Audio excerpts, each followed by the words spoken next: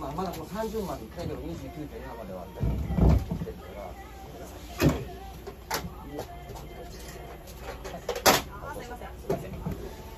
でその中一回手入れてみてください。29.7ですでぐらいな感じ？もっとあったかくそういうそういうことですだいぶあったかいですだいぶあったかいですね。その方がこの子には楽なんです。よで治療って薬も出すけど薬よりもそう環境の方が治療ウエイトが高いですでこれあのもともと目薬の入れ物ね、えーとそうこちら側に来てもらっていいですか？ちょっとすいません。狭いですけど。この方がちょっと見やすいと思うんで。ごめんなさいねすいません。よいしょはい。はい。でねはい。あんまり持ったことないでしょ鳥さんは。あんまり持ったことないんです。はい。えっとね。ちょっと 右利きですか？いい日です。じゃあね、えっと、左で持左持つ最初まずね、はい右で持って、ごめんなさいで左ではいこっちの方がやりやすいや 左で顎をね親指と中指。そうそうそう、はい。で人差し指で頭を。頭。であと体を添える。こういう感じですね。そうこういう感じだからポイントは親指と中指で顎を。うん。顎の下を押さえると苦しいからね。下顎を。骨のあるところを押さえあなるほど。るでこう。で寝かせないで立てるとるほど。そうそういう持ち方で。いい。と思いますはいごめんね。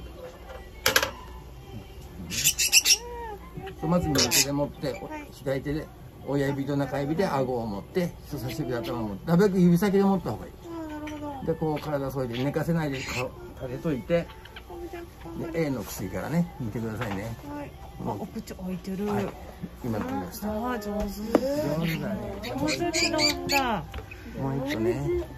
ああい。上手に飲んだ で飲み終わっても、飲ませたら口口元見てすぐ舌がこうやって動いたからそんなに飲んでますから。で飲み終わったら必ずですね、はい。あの口周りをですね拭いてください。こう口周りをね。はい。それでもねついてないなと思っても多少ついてますもんね。でこれを残しておくとうんネットのとしてこの辺がベタベタ。ベタベタ。あ紙食べちゃダメ。はいこんな感じかな。あはい。はいそれでもう1分ちょっとご先生されてますね。ごめんなさいね。はいじゃあすいません。ちょっと当ててくれる？じゃあこちらに来てください、はい。はいもう一回ちょっと持ち方の復習します。こちら。にどうぞ。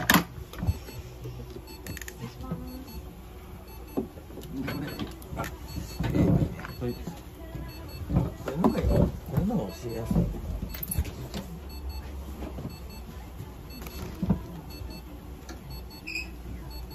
えっとこれでまず右手でパッと軽く握ってで人差し指で持たなあかんから親指と中指でここが顎だと思って。でで人差し指は頭。頭であと体を添えるそうでこのこの立てといて飲ませるで飲ませるんです。ねで今口開けたけど開いてなくてもここに。のそう一滴な入れればスッと入ってきますからだから開いてても開いてなくても一滴。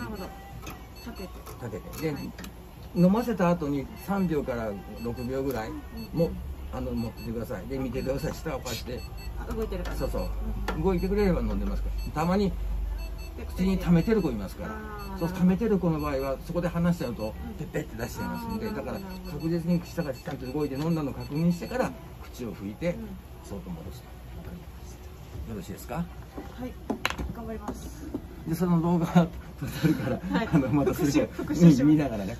はい。じゃあ生産できるまでもう一回ここに入れさせてもらいますね。お願いであとここに入れてくれる？でこれ